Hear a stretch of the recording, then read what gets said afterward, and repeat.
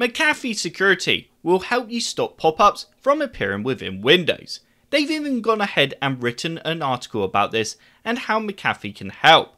And at the bottom, it even says, get protected now with McAfee. But when you install McAfee, McAfee itself actually keeps consistently showing annoying notifications and pop-ups. So what are these annoying pop-ups that keep happening when you're using the security software?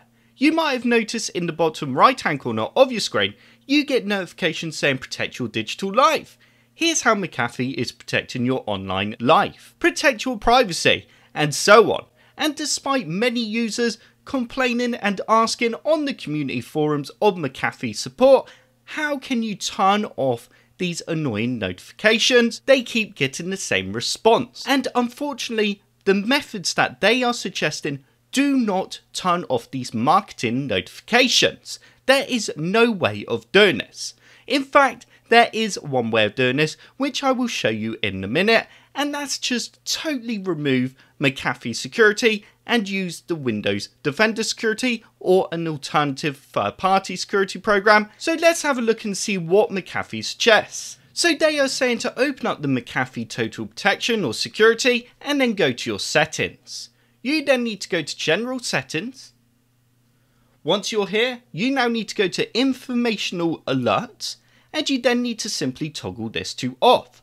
So yes, this is going to turn off some notification alerts. However, if you're on this video to see how to remove some of those other notifications which are marketing related, this isn't going to work. So once you press apply, you will no longer get any informational alerts, which is fantastic. So I have already tried using McAfee with this setting turned off and unfortunately it did not remove those annoying marketing notifications but it did remove some of the annoying alerts and pop-ups. So if you can withstand and carry on using McAfee with those pop-ups then happy days this will help you out.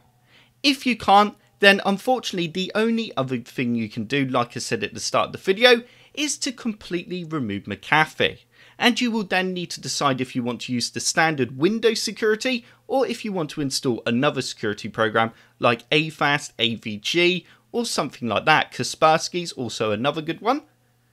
So as you can see, I am using a trial version of McAfee. I do actually also have a purchase version, which I got for free with some sort of Microsoft Office upgrade or something like that, and I've removed it off all my computers.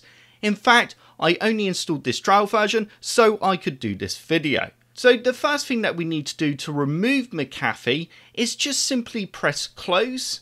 Once you've closed it down, you then need to right click on the start menu icon and you then need to go to apps and features. You then need to search for McAfee. Once you see it in the list, you then need to select it and you then need to go uninstall. You then need to click uninstall again and you will then have a window that looks like this. That's currently loading and taking a while.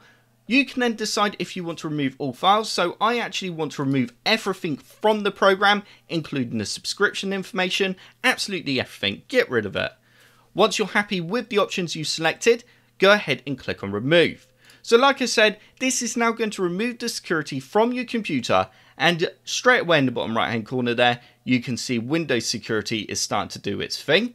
So we will then need to restart Windows and your computer will be using the Windows Defender if you're using Windows 10 or 11. And then, like I said, you can then decide if you want to use a different third party security program. So that does now bring me to the end of this video. So, like I said, you can remove some of the notifications from McAfee, but like I said, you cannot remove the annoying marketing notifications unless you remove the security itself. So if you like this video, click the like button below, and if you want to see more computer sluggish videos, then click that subscribe button. If you subscribe, then I will see you in the next video.